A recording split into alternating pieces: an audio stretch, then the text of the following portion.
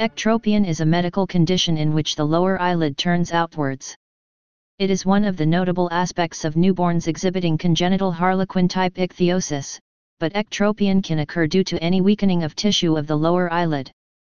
The condition can be repaired surgically. Ectropion is also found in dogs as a genetic disorder in certain breeds.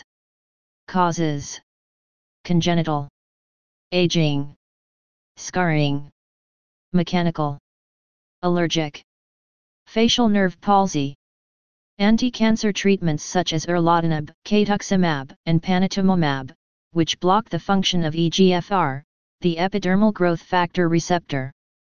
Ectropion in dogs Ectropion in dogs usually involves the lower eyelid. Often the condition has no symptoms, but tearing and conjunctivitis may be seen.